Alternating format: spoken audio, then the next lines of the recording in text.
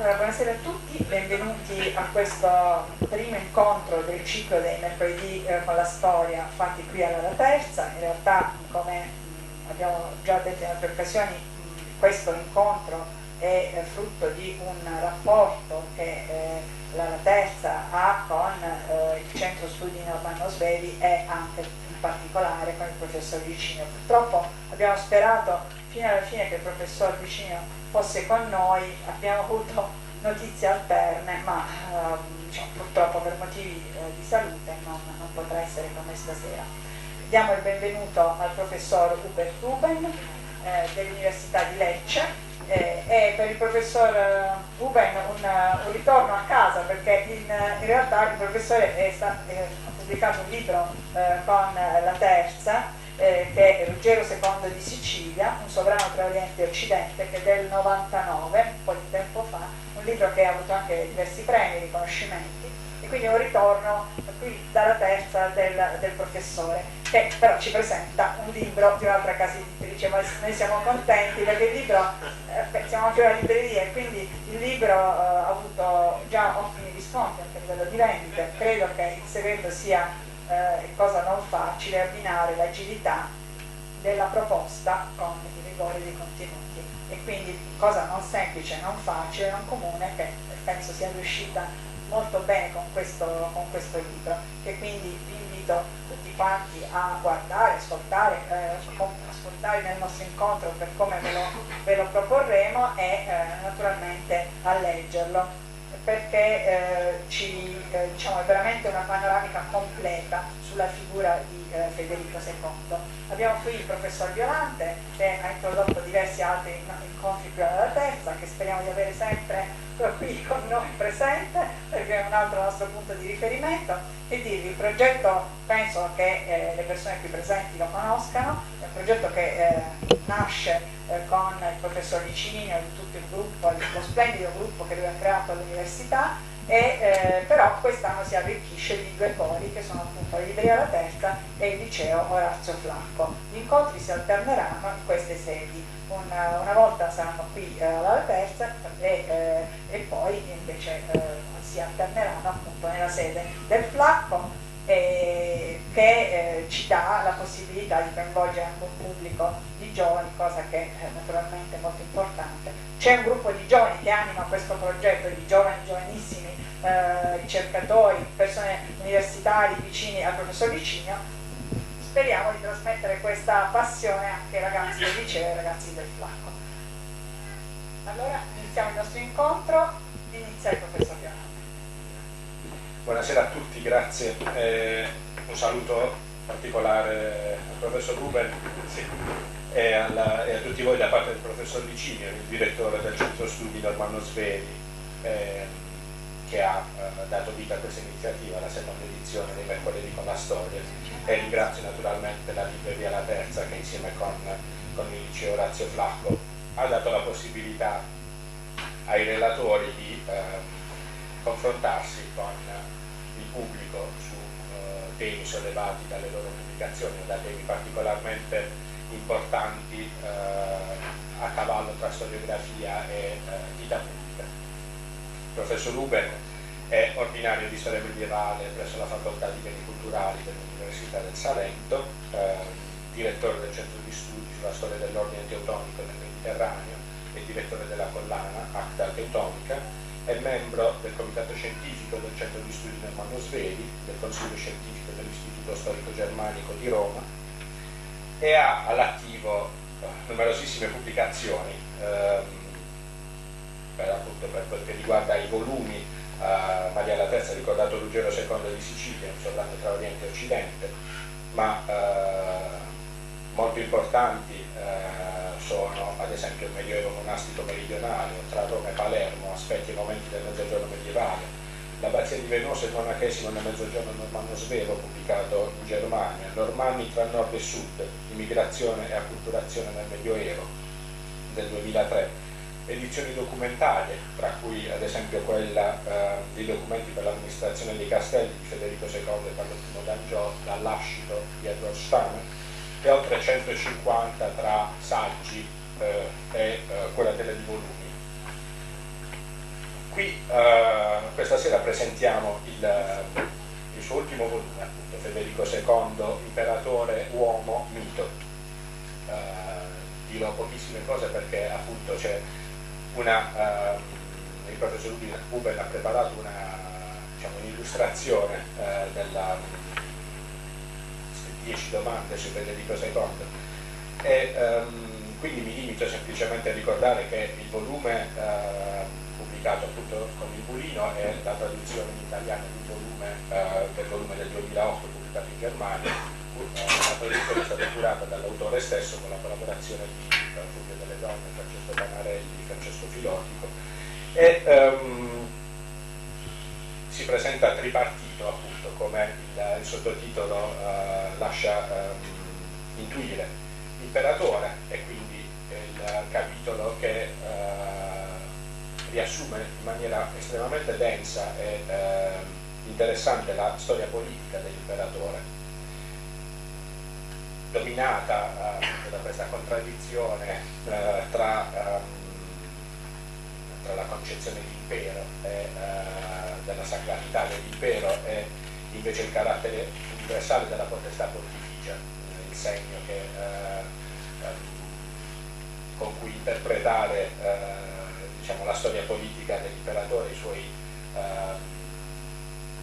la sua parte positiva e, e eh, diciamo, le contraddizioni che la porteranno poi eh, agli esiti che, che, conosciamo. Il secondo capitolo invece riguarda l'uomo e appunto parte dall'infanzia, dalla gioventù di Federico II, molto spesso, ovviamente non solo in questo capitolo ma anche nel primo e nel terzo, sfatando alcuni stereotipi eh, anche colti, cioè di origine colta eh, sulla vita, sulle opere di Federico II, per esempio quella che forse, forse, molti di voi avranno in mente, cioè quella dell'infanzia di Federico II libero tra i piccoli di Palermo, eh, quindi che, che, porta con sé diciamo, nella, nella, sua esperienza politica e umana eh, l'impronta e il ricordo di questa questa infanzia selvaggia, in realtà appunto eh, niente di tutto questo fa pensare, niente delle fonti eh, fa, pensare, fa, pensare, a questo. E ehm, paragrafi si susseguono sulla, sui rapporti tra Federico II e le donne e i figli, eh, la vita di corte, gli aspetti religiosi eh, o quanto noi possiamo dire appunto della, della religiosità eh, dal punto di vista personale di Federico II e ehm, paragrafo molto interessante collegato da uh, immagini naturalmente sull'iconografia, sulle testimonianze letterarie dell'aspetto fisico di Federico II che, che, è un tema che uh, talvolta localmente uh, dà adito a polemiche spesso del tutto pretestuose sulla autenticità o meno di alcune testimonianze eh, appunto iconografiche eh, dell'imperatore. E infine appunto eh, una, un capitolo che diciamo è inusuale per, un, per, una biografia, per un volume di storia, l'aspetto mitico che riguarda il mito di Federico II, mito che l'imperatore stesso alimenta in vita, specialmente nella nella contesa propagandistica eh, e, no, e, anche militare eh,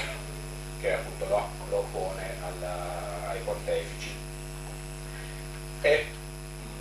Uben eh, prosegue l'analisi della costruzione del mito eh, a partire appunto dalla sua vita eh, fino ad arrivare ai giorni nostri con il punto di svolta eh, che possiamo collocare tra 800 e 900 con ehm, l'attività di eh, grandi intellettuali come Nietzsche per esempio, che riprende e ribalta di segno alcune definizioni che noi stessi ci portiamo eh, dietro come bagaglio su Federico II, cioè per esempio l'immagine del primo uomo moderno, che in realtà appunto l'originato da Burkhardt era di segno negativo, invece lo, lo percepiamo eh, del tutto rovesciato eh, adesso. E, ehm, lascio la parola alla, al professor Ruben semplicemente eh, poi ricordando che eh, poche pagine eh, prima della trattazione della materia di Federico II, il professor Ruben eh, ci, ehm, ci, dà una lezione di metodo storico eh, da, da, storico che si è dovuto confrontare con un problema, cioè quello della biografia, eh, di un personaggio così ricco di sfaccettature e problematico come Federico II. E, ehm, nell'introduzione appunto che, che, vi invito caldamente a leggere eh, e che invito gli studenti in particolare a leggere, eh, Uben traccia una, um, un piccolo prontuario di um, riflessione dei, tra i rapporti, sui rapporti tra storico, tra storia e mito, appunto, tra fonti, interpretazione, di quanto oggettiva, di quanto soggettiva possa essere una debba possa essere la lettura di uno storico contemporaneo eh, delle fonti, il problema della biografia, appunto di trattare una biografia di un personaggio, un individuo mh, che noi possiamo conoscere esclusivamente da fonti spesso eh, lacunose, spesso frammentarie, tutte orientate mh, dal punto di vista ideologico e politico. E naturalmente il confronto con la storiografia che appunto nel caso di Federico II eh, costituisce un problema perché eh, non si tratta di una storiografia asettica, ma appunto così come l'interpretazione delle fonti, come le fonti stesse, eh, profondamente permeata della, de, della cultura dell'epoca in cui le biografie di Federico II, i lavori su Federico II sono stati prodotti. E infine una conclusione eh, Federico II nel contesto europeo, ehm, che è la chiave ehm, diciamo, interpretativa di estremo equilibrio e rigore che eh, il professor Ruben ci propone. Ma lascio la parola eh, a lui e di nuovo grazie per essere intervenuto. Grazie. Eh, ringrazio il collega Violante che già ha anticipato eh, alcune cose come l'impostazione in eh, tre parti creatore uomo mito eh, che ho scelto proprio per non scrivere la solita biografia che comincia con la nascita e finisce con la morte, ma eh, per fare questo approccio nuovo di fare prima una parte della storia politica, l'imperatore, poi l'aspetto dell'uomo che è molto difficile perché noi abbiamo eh, relativamente poche fonti ed è molto difficile di capire qualcosa dell'uomo più andiamo indietro nel tempo, perché per l'epoca di Federico II per esempio non esistono autobiografia, non esistono testimonianze personali che eh, potremmo analizzare come invece lo possiamo fare con personaggi moderni o contemporanei, ma abbiamo solo delle fonti, cronache, documenti, eccetera, che leggendo tra le righe possiamo cercare di capire qualcosa eh, del eh, personaggio. Eh, ho cercato, o cercherò di eh, spiegare così alcuni aspetti del libro facendo dieci eh, domande che però, ehm, fanno anche capire eh, l'impostazione del libro. Cioè, comincio con era Federico, poi che ruolo ha avuto nella storia tedesca e italiana, rapporti con Milano e la Liga Lombarda, questa sarebbe la parte eh, politica, l'imperatore, poi l'uomo come era nel privato, in virgolette, sempre per quanto è possibile eh, capire che interessi culturali aveva, il problema eh, particolarmente difficile della religiosità, era credente, ateo, eretico, l'aspetto fisico che è una cosa che noi oggi eh, ci interessa, che invece noi vedremo nel Medioevo era di poca importanza, e poi la terza parte, se vogliamo eh, così, storiografica, cioè il mito come è stato visto in Germania, come è stato visto eh, in Italia e anche naturalmente eh, le differenze, ecco, perché è stato visto in un modo in Germania, in Italia in un altro? E alla fine quale è oggi storico eh, su Federico II. Quindi eh, cominciamo con il eh, personaggio. Cioè, il personaggio Federico II, la eh, sua storia politica mh, si comprende se si veda appunto di chi eh, è discendente, cioè lui unisce nella sua persona le due dinastie degli Svedi, Hohenstaufen, eh, imperatori del Sacro Romano Impero e i Normanni eh, con a capo Ruggero II, eh, Ruggero di Altavilla, eh, re di Sicilia. Eh, Federico II è eh, appunto mm, un re, re, dei Romani, cioè re di Germania, al titolo di re di Germania all'epoca non esisteva, ma si diceva re dei Romani per intendere, far intendere che il re tedesco era il futuro imperatore del Sacro Romano Impero. E quindi lui è un eh, imperatore romano tedesco in quanto figlio di Enrico VI, figlio di Federico Barbarossa, però eh, se vediamo eh, sotto scritto re di Sicilia, imperatore romano tedesco, re di Gerusalemme, qui si vede invece la eh, particolarità, cioè che lui nella sua persona unisce anche il regno di Sicilia, eredita il regno di Sicilia dalla madre per Costanza di Altavilla e eh, attraverso poi un matrimonio erediterà anche la corona del regno di Gerusalemme. Quindi la, tutta la politica, il problema politico eh, è condizionato da questo problema di dover eh, governare impero immenso che andava dal mare del nord fino a Gerusalemme, se vogliamo così, e questo per i mezzi limitati del tempo del Medioevo dove eh, si andava a cavallo, eh, cioè non c'erano eh, macchine, aerei, eccetera, le comunicazioni erano estremamente lenti, quindi questo era un problema eh, quasi impossibile di governare un eh, impero eh, grande. E vedremo, vediamo poi anche che Federico fa poi una scelta cioè fare una scelta di occuparsi più del regno di Sicilia, perché come sapete Federico II eh, passerà eh,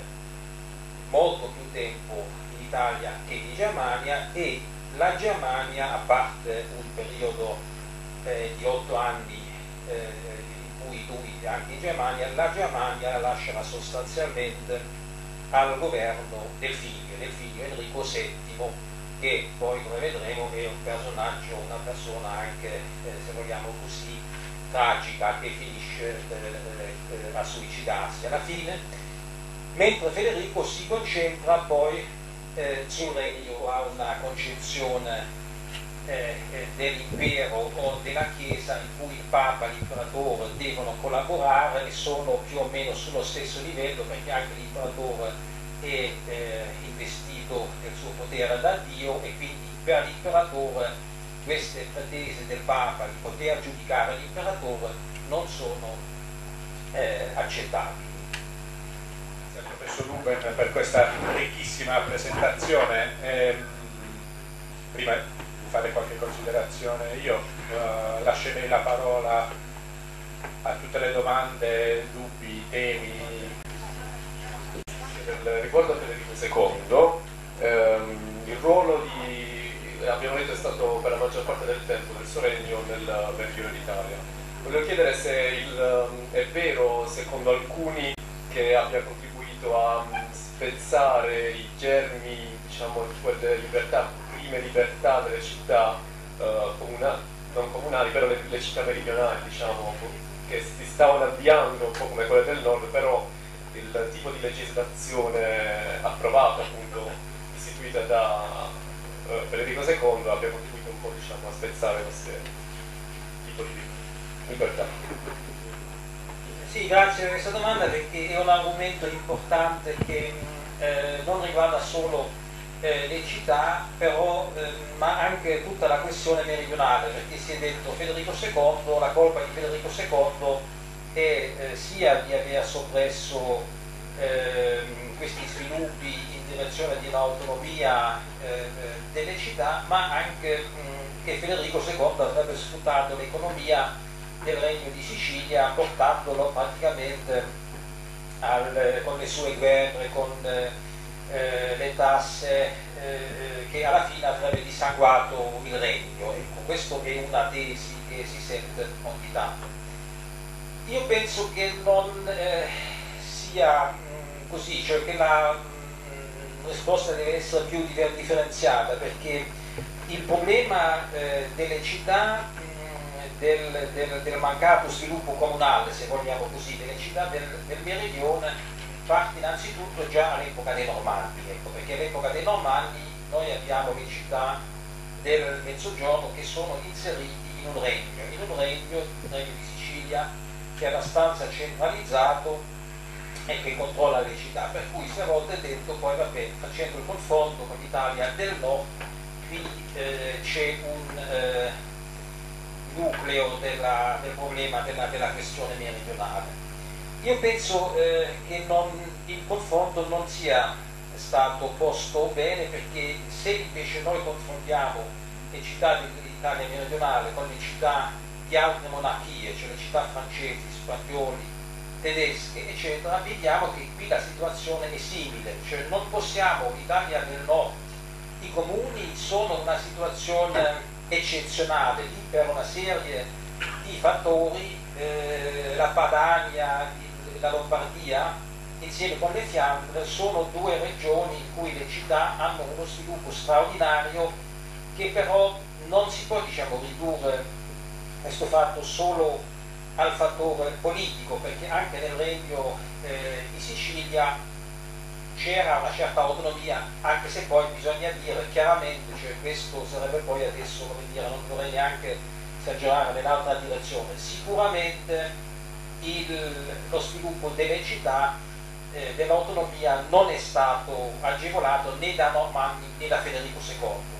Però questo ehm, non significa poi, eh, come anche eh, la politica, cioè le tasse, no? diciamo, abbiamo queste, queste, tasse che sono a un certo punto veramente eh, pesanti, la gente si lamenta, però se la gente si lamenta delle tasse non significa sempre che le tasse sono veramente pesanti, perché nessuno vuole pagare le tasse, ecco, per questo lamenta, bisogna vedere se veramente eh, eh, le tasse sono, sono, pesanti o no. E quello che noi possiamo constatare è che quando gli Angioini ereditano il regno di Sicilia da Federico II, dopo tante guerre, dopo, dopo tanti, tanti problemi, ereditano un regno che è ancora uno dei più prosperi eh, dell'Europa, quindi significa che la politica federiciana sicuramente è stata anche di tipo eh, fiscale, perché chiaramente le guerre che ha condotto, eccetera, hanno pesato sulle casse dello Stato, però non significa che poi avrebbe come dire, sfruttato del tutto il meridione, causando poi eh, eh, l'impoverimento, cioè la questione della questione meridionale che, come sapete, tutti, molto complesso e gli studiosi discutono da generazioni, cioè esempio sempre qualcuno magari ha voluto già trovare le radici nel basso impero, poi qualcuno li trova nei normanni, poi qualcuno dice no, è invece un problema del Cinquecento, quando cambia eh, dire, la politica globale, diremmo oggi, quindi è un problema eh, molto complesso e sarebbe almeno riduttivo insomma, di attribuire eh, questi problemi a Federico II o ai Normanni, invece io penso sia Federico II sia, sia i Normanni invece hanno inserito il regno di Sicilia in un giro europeo, cioè se vogliamo così, cioè, come dicevo anche Federico II ha avvicinato l'Italia meridionale al, al, resto, resto dell'Italia né, non sembra ecco, che questo sia eh, una politica eh, del tutto negativa. Chiaramente non possiamo neanche, come dire, noi, eh, cioè un, un, un, imperatore medievale poi non faceva una politica come un politico moderno la dovrebbe fare, almeno in teoria, cioè fare una politica per il bene comune, ma l'imperatore medievale fa eh, dire, il, la sua ideologia, la sua concezione dell'impero è quella se lui eh, vuole fare queste guerre, deve fare queste guerre e se poi diciamo, ci vanno anche di mezzo un po' i sudditi eh, e così, ecco, è un, una mentalità diversa. Eh,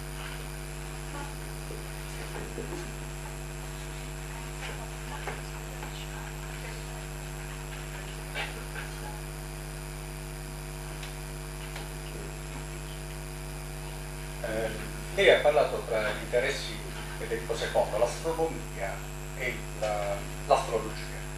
Voglio sapere se lei per caso ha approfondito il discorso esoterico, infatti ci sono degli studi che parlano di segni particolari del castello di Cea Castel del Monte, non so, ecco, questi aspetti esoterici.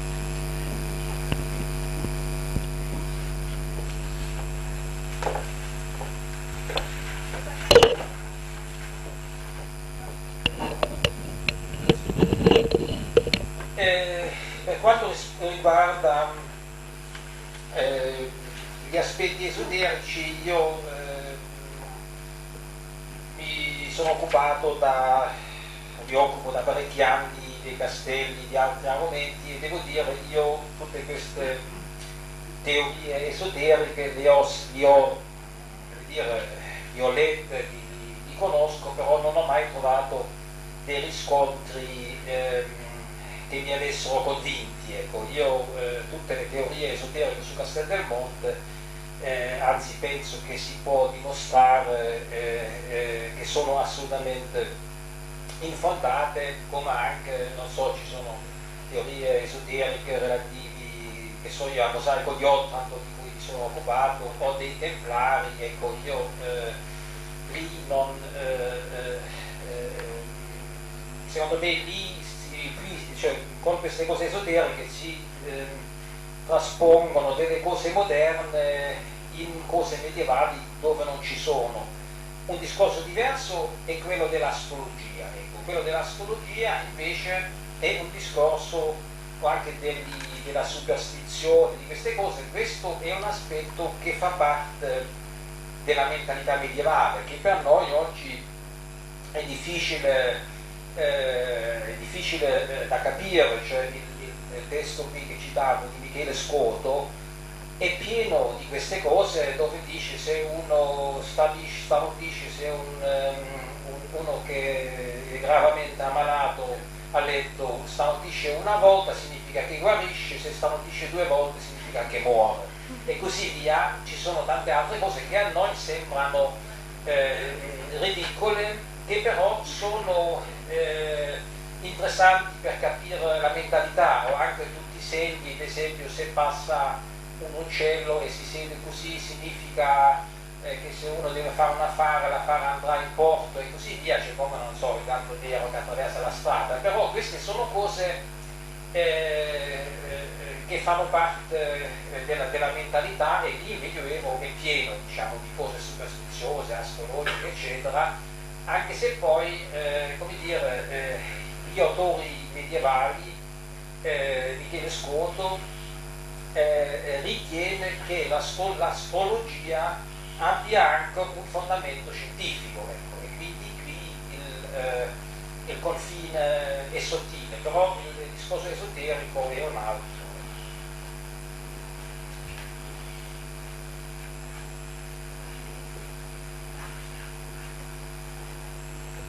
Buonasera professore, eh, si è spesso parlato mh, appunto del rapporto di tolleranza tra Federico II e comunque gli altri credi religiosi, per esempio l'islamismo o comunque l'ebraismo. Volevo farle due domande. Eh, la prima è qual è diciamo, la verità ehm, sul processo fatto agli ebrei di Fulda e ehm, l'altra domanda invece come ha fatto eh, appunto Federico II a diventare re di Gerusalemme pur non combattendo, quindi instaurando solo trattative diciamo, eh, diplomatiche con il re Camillo. Grazie, anche questa è una domanda interessante. anche se devo dire, diciamo, lei ha usato una parola pericolosa, diciamo la verità, cioè la verità io non, non la so, diciamo, lo storico secondo me non può eh, dire, cioè a volte per me si usa così a modo di dire, no? di dire come era veramente, insomma, però i, i nostri giudizi sono tutti soggettivi, cioè quello che dico io, che ho scritto io, può essere che dieci anni fra 5 anni, fra 10 anni un altro, scrive un altro libro e arriva a conclusioni diverse, cioè sono delle valutazioni soggettive anche se non sono arbitrarie, ecco, perché eh, il limite da soggettività a arbitrarietà eh, è una cosa diversa. La cosiddetta tolleranza, ecco, questo è un problema perché innanzitutto il nostro termine tolleranza eh, non, è, non, è, adatto al Medioevo perché è un termine che deriva dall'epoca della riforma protestante più ancora dal nominalismo e tolleranza significa eh, eh, di dare lo stesso valore a altre opinioni, a altri credi, ad altre religioni. Questo nel Medioevo non c'è e non c'è neanche Federico, c'è però c'è una cosa che oggi potremmo dire, potremmo dire tolleranza pratica, cioè di eh, eh, tollerare, ecco, tollerare è già diverso, si può usare il verbo secondo me, cioè di dire si eh, ehm, concede per esempio la libertà di culto, si rispettano altre religioni come l'ebraismo e l'Islam, questo c'è, però nel sistema medievale, eh, anche nel regno normanno eh, di Sicilia, c'è però la religione cristiana che è la religione di Stato, che sta a un punto più alto anche se si tollerano le altre religioni ed è un po' questo concetto che esiste nell'Islam, cioè nell'Islam esiste anche la eh, possibilità diciamo, di tollerare gli eh, appartenenti alle religioni del libro, cioè i cristiani e eh, gli ebrei, però in uno Stato islamico non possono aspirare agli stessi diritti, cioè rimangono sempre oggi, però sono categorie nostre, noi diremmo cittadini di seconda categoria e un po' così è anche nel Medioevo con i musulmani e con gli ebrei che nel regno normanno eh, di Sicilia, cioè l'Italia meridionale, la situazione degli ebrei e musulmani è stato eh, più eh, dire, eh, migliore che in altre parti dell'Europa perché qui nel Mediterraneo c'è una lunga tradizione di convivenza tra culture diverse, mentre in Germania, in Francia, dove non c'è questa tradizione, non è un caso che durante le prime crociate i pogrom contro gli ebrei sono scoppiati prima in Francia e in Germania, perché lì non c'era questa, eh, questa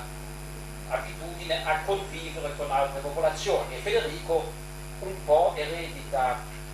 questa eh, mentalità e sicuramente ha anche un interesse ecco, eh, per la cultura araba, eh, cioè per la cultura araba e anche per la cultura ebraica